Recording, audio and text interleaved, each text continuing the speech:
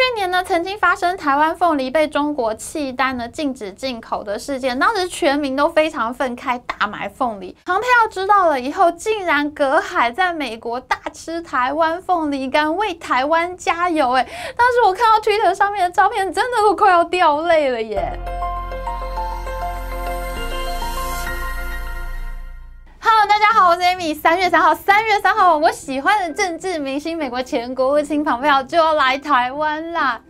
庞佩奥是最力挺台湾的台湾之友，他挺台挺到被中共制裁。虽然我们都没有感觉到被中共制裁会有什么样的影响，可是如果有看过我们半导体争霸战系列的同学就会知道呢，被美国制裁呢，后果是非常严重的。香港特首林郑月娥，她现在连银行账户呢都被撤销，她都不能刷卡了。而且呢，中共是等到川普政府下台以后呢，才敢制裁他的官员。在大义名分上面呢，中共还是不敢制裁现任美国官员的，所以呢，这就被很多媒体给狠狠嘲笑了一番。好，今天我们就要来讲影响了台湾命运的美国前国务卿蓬佩奥 （Mike Pompeo） 这一集完全就是迷妹特辑，知道吗？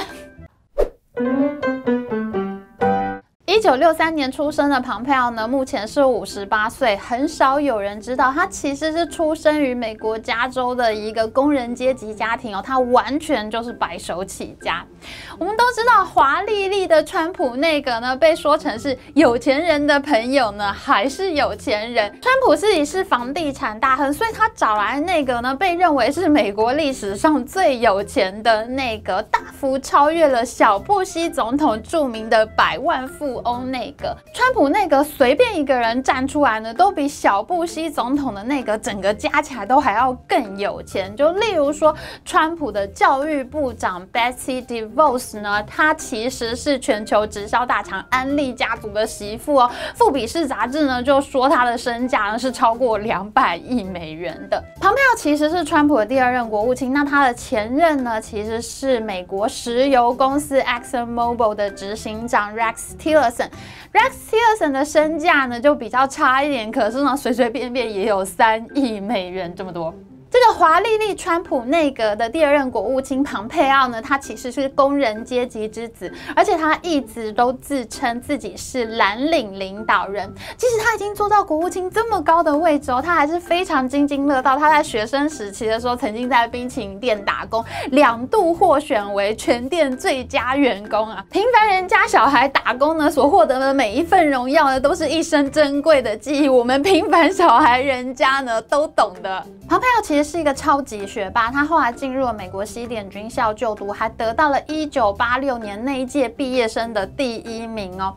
他以第一名的成绩毕业之后呢，就派往德国和捷克服役。那当时的德国呢，其实还分成东德和西德，一个是自由阵营的西德，一边是共产阵营的东德。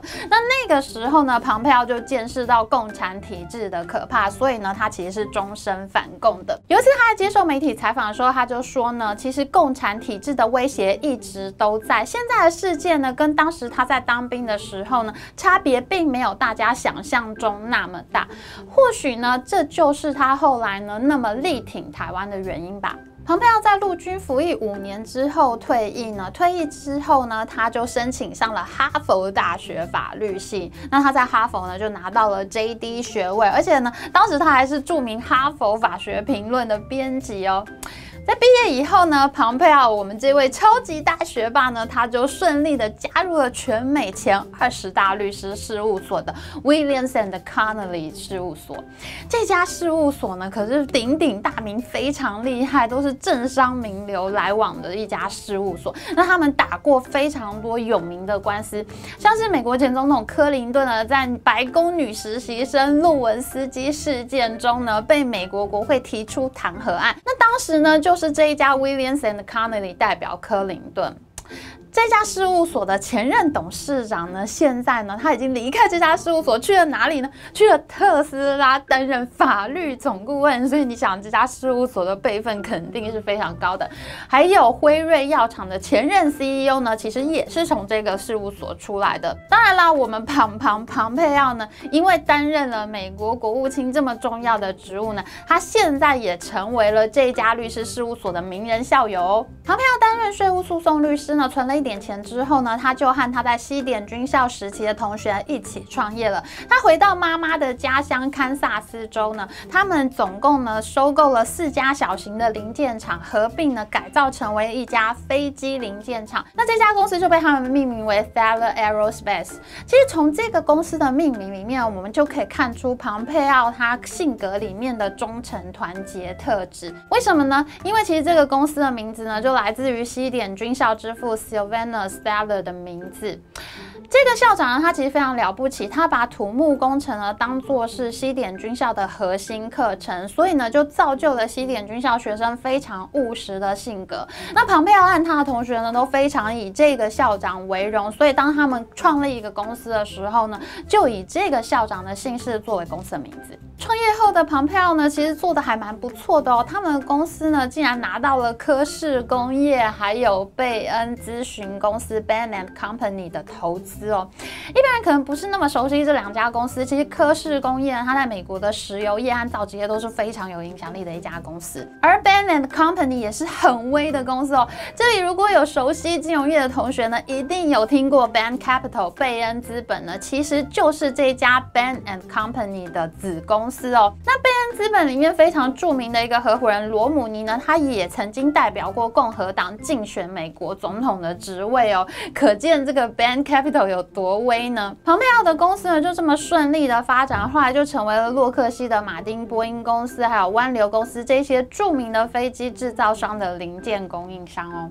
后来呢，庞佩奥去了一家石油钻探设备商 Century International 担任总裁。然后呢，他就在二零一一年的时候出马竞选堪萨斯州的众议员，转而从政了。这其实是非常典型的一种老派美国人的 career path，因为美国社会非常崇尚军人非常勇武的这个风气嘛。那退役从商的人呢，因为受到非常务实的军校教育，往往也能开展出非常好的事业。那在他们事业有成之后呢，他们就想要出任公职，服务社会。像以前我们在申请一切跟美国有关的 program 的时候，他的履历就非常重视你有没有什么公众服务记录啦。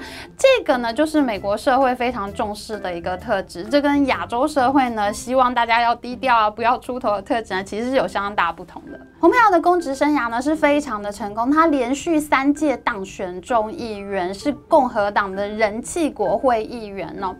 在二零一七年，他接任中央情报局的局长之后呢，在二零一八年的时候，他就接替了 Rex Tillerson，成为美国第七十届国务卿。那我们都知道，国务卿呢，就是美国负责国际事务上面最重要的一个职位，而也是在蓬佩奥的任上呢，改变了台湾的命运。台湾现在真的是很受国际重视哎，其实多年以来呢，我每天早上都开 Bloomberg 当背景音乐啦。以前真的不会讲到台湾哎，只有什么台风、地震的时候才会讲到台湾。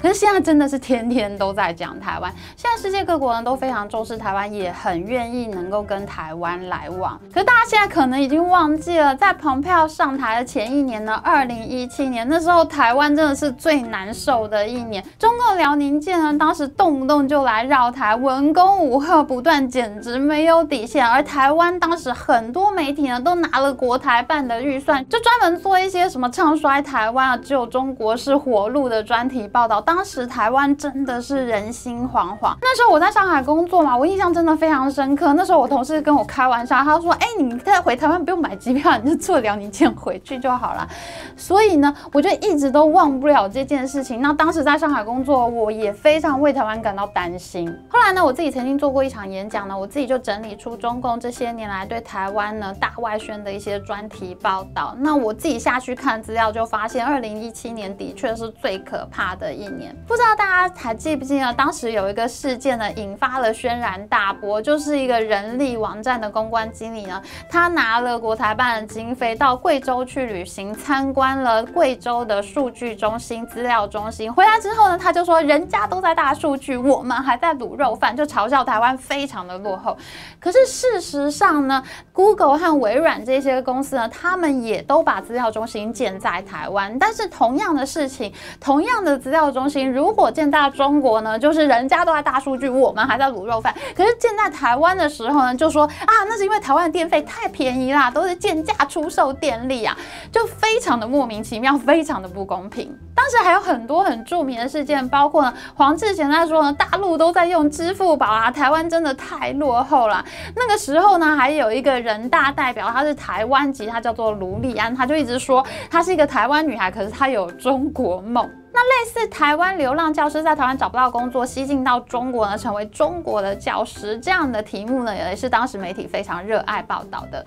可是后来我自己下去查，发现呢，这样的教师人数其实并不多，只有几百个人。也就是说，中国呢并没有吸纳多少这样的工作机会，但是呢，这样的题目呢却被渲染报道。那年呢，还有更惨的事情，就是全球各大航空公司的网站遭到中共的逼迫，你必须要把台湾。的国民改掉，改成 Taiwan Province of China。啊，我们再也找不到台湾的国民，我们就变成了中国的一省。